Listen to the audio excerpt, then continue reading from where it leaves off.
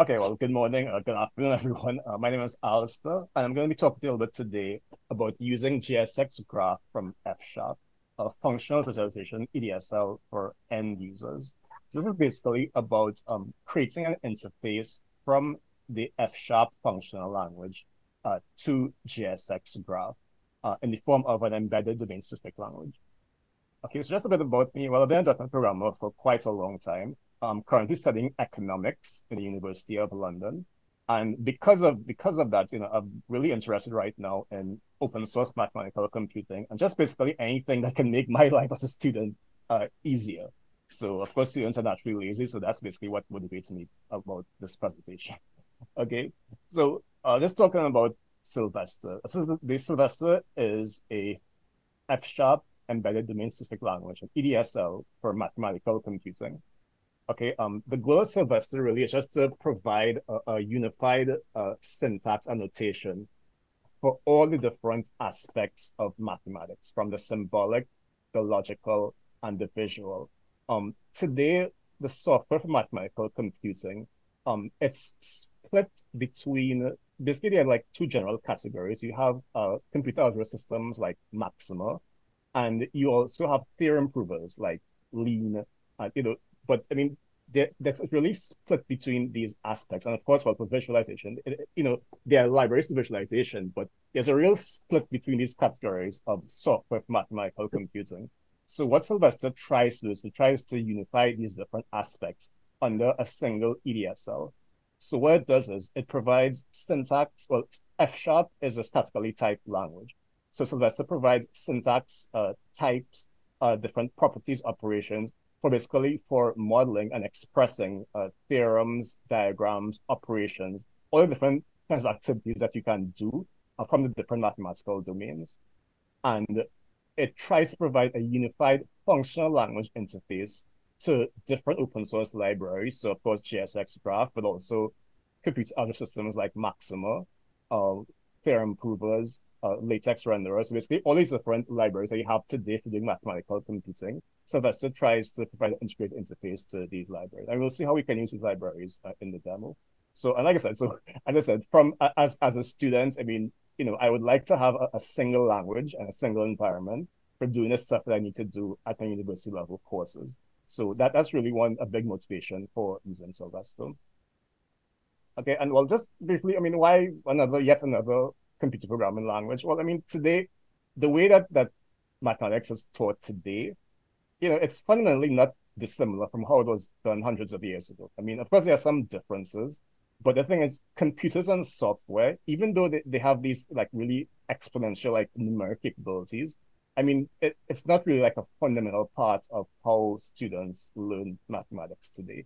Okay, you do, I mean, you, you don't need a computer to, you know, to learn mathematics, to learn mathematics. I mean, which is either a good thing or a bad thing, you know, depending how you look at it. But uh, what I would really like to do with Sylvester is to try to, to just to exploit these capabilities of, of computers for doing symbolic operations, uh, logical operations, visualization, uh, just to make it like an everyday part of, of, of what students do. Okay, so just a little bit about F Sharp. Uh, F Sharp is a hybrid, a functional first object-based language from Microsoft. Uh, it's called object-based as opposed to object-oriented because object-oriented doesn't describe the entire thing. So yes, it has classes, has classes, has inheritance, um, interfaces, polymorphism, things like that. But it's also a hybrid with functional programming, a functional programming metaphor. So it's a member of the ML family. So um, basically with functional languages, you have this kind of divide. You have like languages like Haskell, and then you have uh, the ML family, which has OCaml. So F sharp is a member of the OCaml, and the, all these members of the ML family have like a similar syntax. Now, F sharp can run in different environments. It can run in a desktop IDE, can run in a web browser, and can actually run in a Jupyter notebook. So this note, this presentation is being done from a Jupyter notebook right now, which is a really cool way to, to present and to do demos and stuff. Um, because of you know, these capabilities, it's used in different areas, uh, financial programming. Of course, you know that that's really important now with, with, with um like companies like Jane Street, for instance, are very heavily into OCaml. And also what's becoming more popular is web development also. And it has features uh, compared to like a statically typed programming language like C Sharp or Java. it does actually contain features that make it easier to, to use it interactively and to interoperate with languages like JavaScript. So F Sharp is a really, really good choice for building the type of a language that Sylvester tries to be. I will see how, how we can, you know, exploit Sylvester basically to, to do these sort of mathematical operations. Okay, just just about terminology. Well, on EDSL, uh, it, it, just tries to exploit the syntax of, of the, the host language, and while also adding domain-specific elements. And one of the things with EDSL is that the integration with the host language is very deep. It, it goes beyond just simply adding, just simply adding types. I mean, you're also adding, you know, uh, operators, and you're also sometimes repurposing the, the syntax. So we actually see how basically we, how we, we introduce a custom compiler to compile F sharp into JavaScript. So that's why it's termed uh, embedded domain specific language. Okay, so uh, let me get started with this. Just, I'm just going to show you how uh, Sylvester can be used for if you're studying economics, how you can really use Sylvester to help you. Okay, so that's a, there's a like really, really basic about the theory. So economics, it, ha- it deals with like how a society allocates scarce resources.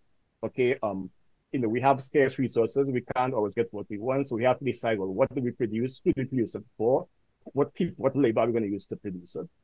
Okay, and the, the really basic terms in economics are supply, demand, consumer, preference, utility. I mean, these are just like like really, and I mean, it's a really, really simple definition of, of these things. And so the introductory theory in economics only uses basic algebra and calculus, right? That, that's really just, just the basic that, that it uses. And you can go really far with that. Uh, but one thing about economics is that economics, it features really, really heavily with algebraic manipulation and also graphs and visualization. So I don't know how many of you have actually looked at any economics at all, but I think the first thing that sticks out is like, wow, it's a lot of graphs and these are a lot this is a lot of like symbolic manipulation that you have to do. So that that's really where, where you know sylvester comes in and, and tries to, to help with that. Okay and just the definitions are going to be used from this this this particular textbook. Um, it's a really good textbook that, that introduces like rigorous calculus with macroeconomics so. Okay so uh, let's get started with the demo. So what i'm going to do is i'm going to bring open up sylvester. Okay and i'm going to bring in the open up the sylvester namespace I'm going to declare a function of one real variable. So that's basically, this is, this is just the syntax for declaring a function of one real variable. Okay, so that's my function. And then, well, simple thing, simplest thing I can do is just evaluate that function at a particular point. So I can evaluate it at nine. So that's the result. Now, the thing about Sylvester is that all operations Sylvester are fully symbolic. So when we evaluate things, we get back a symbolic, we get back a symbolic expression. Uh, if we want a numeric expression, well, we just use a, a, a, operator to convert the symbolic expression to a numeric expression. This is just the this is just the computation of a numeric expression, a simplification of this here. Okay, so basic calculus, well, we can differentiate. Okay, uh, we can integrate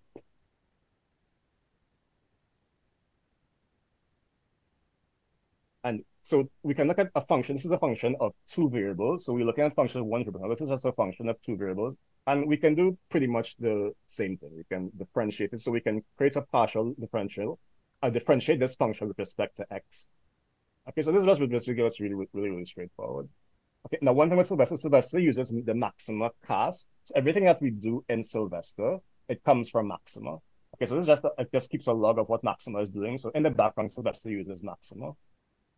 Okay, so just a basic outline of just one part of economics, supply and demand. So in the theory, um, the quantity of a good that consumers are going to demand, uh, it, it, it's just it's just basically it, we think of it like as a function of the price. So at a particular price, consumers are going to want to buy this particular good.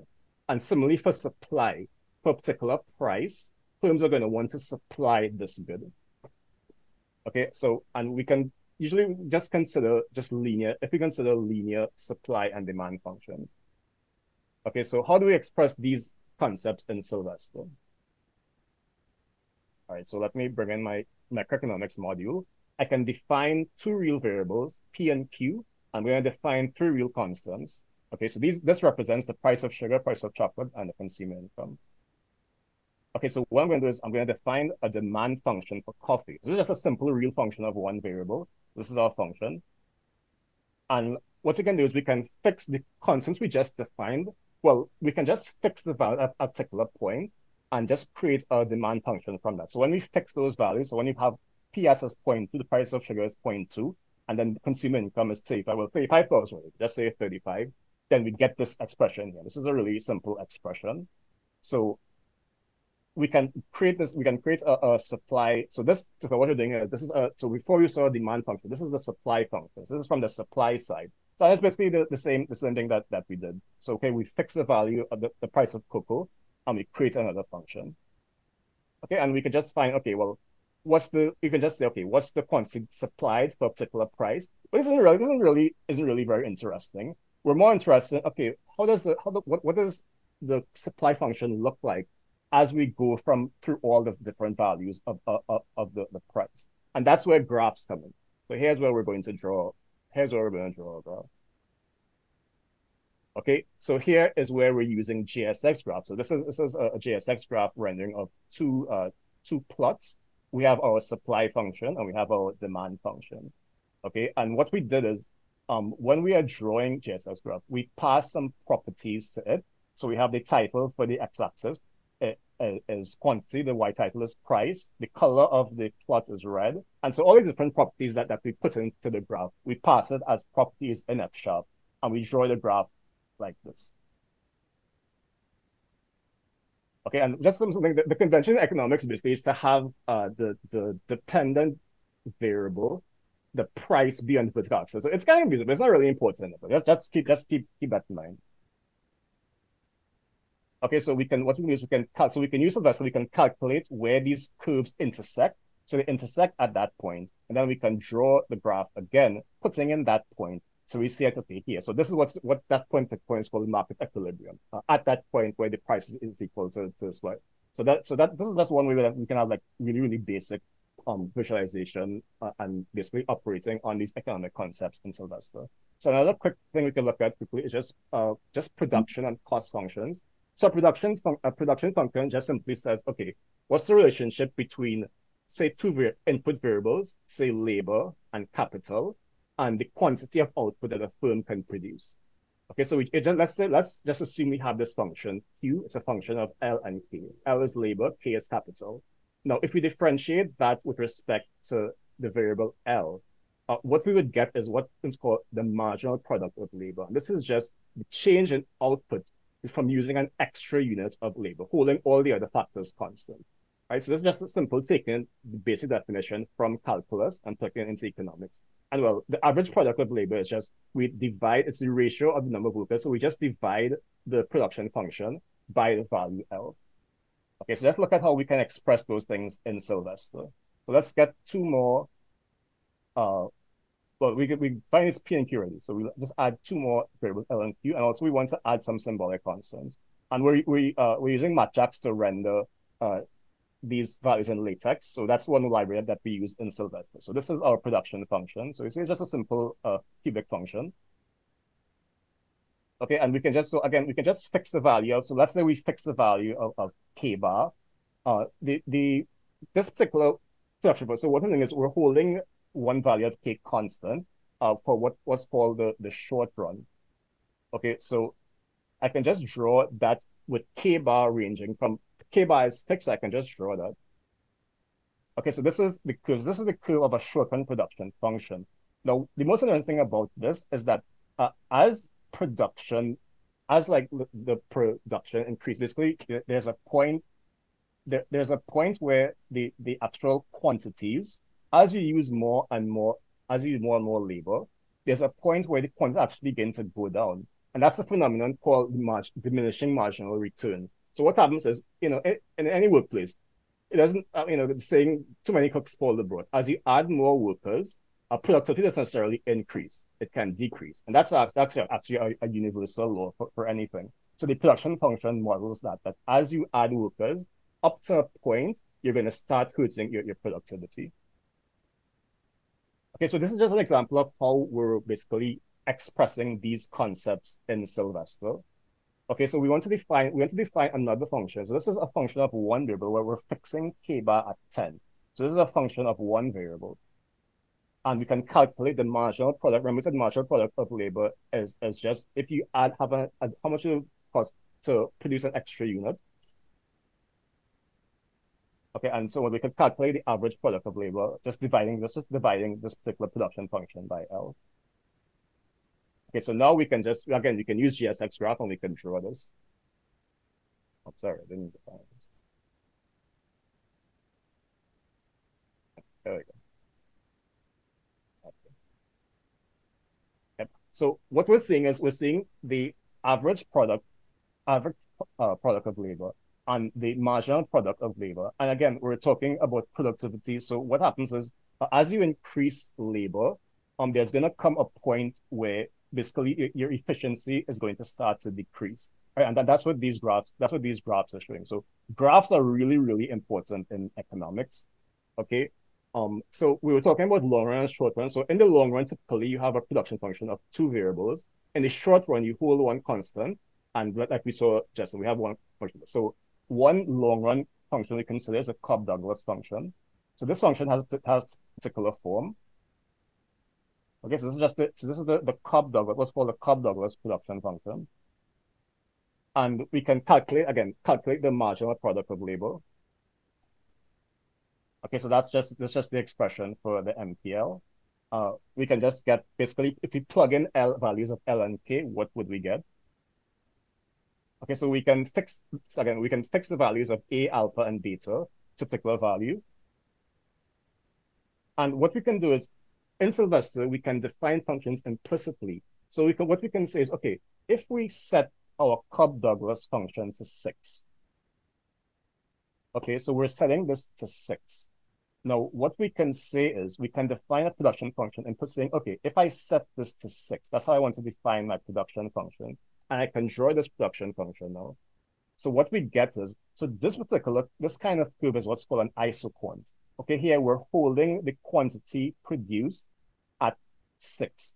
And this basically just, just shows you basically of the two factors, L and K. So this just shows you what that particular, if we, if the production is fixed, how the values of labor and capital are going to vary. So this type of curve is called isoquant. So in Sylvester, we have a built-in function to produce isoquants. So this, this I'm saying, I want to draw using JSX graph isoquants for production at 6, 9, and 12.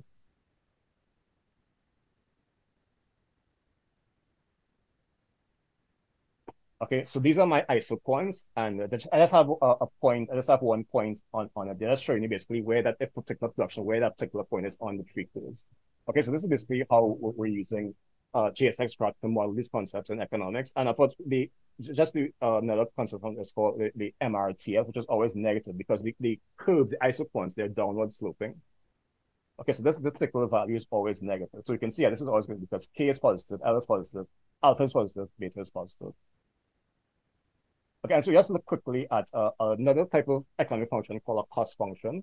So the cost function basically says, uh, if I'm producing a certain unit, how much is it going to cost me to, to produce that? So C is the cost. Okay, so let's just say that this is our cost function. So what we can do is we can set C to, we can set Q to zero, and what we would get is this is the fixed cost. So no matter what happens, we must have, have this cost. Right? So that that when we set that Q to value, this particular function is called the, the fixed cost. Okay, and the marginal cost is, okay, for additional units of output, how much is the cost going to go up? Because like I said, marginal I found basically everywhere in economics. They're really, really important concept. Okay, so we can just draw draw these curves. And again, so we see we, we can just look at the behavior of cost. So we can see like at a point, you can see that the, the, the costs are basically, the, the costs sort of like the, the increase is very, very flat. But as you get to a particular point, it becomes more and more expensive to produce certain things. So, you know, that's something that the cost is not linear. It's not a linear thing. You can't just, just it doesn't just simply say to produce 10 items, it's going to cost twice as much as producing five items, right? So that's what we know. And that's, that's something that we know from just from life. Okay, so we looked at, basically, we looked at how, we looked at how Sylvester uh, uses JSX graph and all these different open source libraries to work with concepts in economics. So I just want to talk about how Sylvester is actually using JSX graph under the hood. Okay, so uh, so we saw how we use JSX graph to basically to draw these different graphs. And the, but the thing about this is that we're not using JSX, uh, the JSX graph objects, the geometry elements, like for example, like function graphs, uh, we're not actually using those in the EDSL syntax. What we're doing is we have these functions and we have these fully defined mathematical domain objects, and that's what we're using to draw. And what we do is when we draw those functions in the draw command, we set properties on certain properties at a very high level.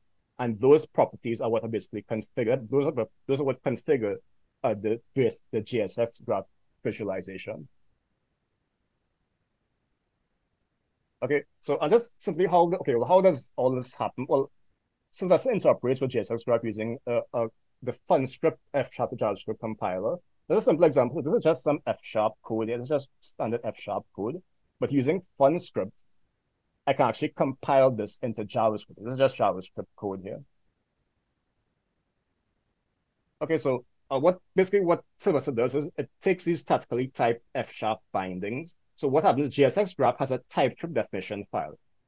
So what uh, does, it takes those bindings, it takes that definition and it creates F sharp bindings, statically typed F sharp bindings to the different JSX graph types using those bindings. And it uses that as a starting point, basically for this a low level interface to JSX graph. Okay, and when the when the notebook, the Jupyter kernel sees F sharp code in a quotation with particular type, it knows, okay, I need to compile this code into JavaScript and display this code.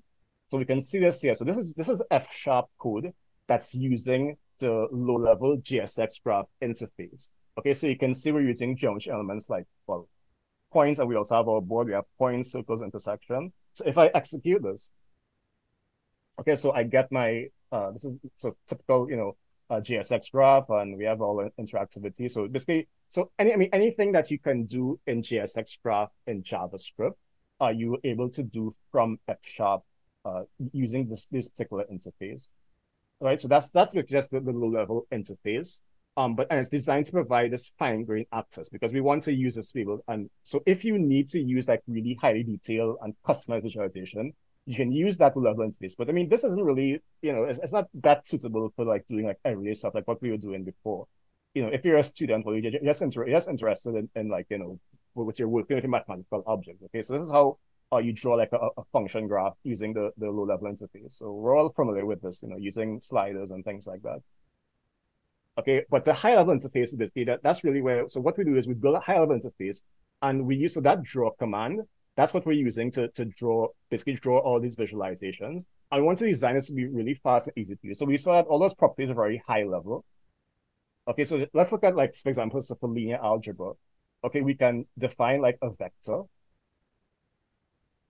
This is how we define a vector in Sylvester. And then to draw this vector, so we use the draw command we set different properties like the ranges, and we say, okay, if I want to use a slider, I want to set the range of x between 1 and 9. So if I draw this, what I will get is a JSX graph, and I have my sliders that I can use to interact with my diagram. But this is all coming from a very high level interface into JSX graph. Okay, so just I mean, just talking about like comparisons with other languages, you know, things to, to consider. Okay, well, how easy is the code to understand, especially by users? Because I mean, if you're talking about you know students, professors, educators, they aren't necessarily computer programmers. So you want you know, so if you're targeting those users, having something that's easy to understand, grasp, that's probably re- that's really important, you know, compared to necessarily not necessarily like like capabilities or, or how featureful it is. I mean, things like like like help users avoid mistakes, like for example, so types um, you know, using a cyclic type language, you know, you get a lot of help with, with how you're supposed to call a particular function. But the most important thing is how can we reuse it? Okay, can you create these high level interfaces from a lower from these low level types, like what we saw basically using the, the draw command uh, to build up this this JSX graph uh, function graph. So you know, how is, is it still how is, is that to do? And of course, what can it be used interactively? So can it be used, so, for example, JavaScript, for instance, um, it's not really like an interactive language. So this is just, just this is just JSX graph um, JavaScript code. But I mean, to use this in a notebook is not really straightforward. It's, JavaScript isn't designed to be used interactively by a user. And we have well, languages like MetaPost. Uh, but I mean, MetaPost, if you look at this, I mean, the, the syntax of this is actually pretty, I mean, it's pretty intimidating. You know, so I mean, for, for an educator, an end user, they're not necessarily, you know, might be cut off, might be turned off by this. And of course, there's there's Mathematica. So this is math. This is a Mathematica. This is actually Mathematica doing an economic function, and we can see the same thing. It's modeling the supply and demand function. It has a slider. But the thing with Mathematica is that it doesn't have any real capabilities for reusing the code. And if you want to put your code in a library, if you want to build like high level interfaces, I mean, I, I don't know what, I, just find the Mathematica code to be very, very difficult to, to use. Um, I, I find languages like like F sharp much, much easier than this. Okay, so uh, that's it for me. So I hope you enjoyed my talk. And for more information, you can check out the GitHub project, uh, Allister B. Sylvester, or you can ping me on Twitter at Allister B. Okay, so that's my talk, and thank you very much.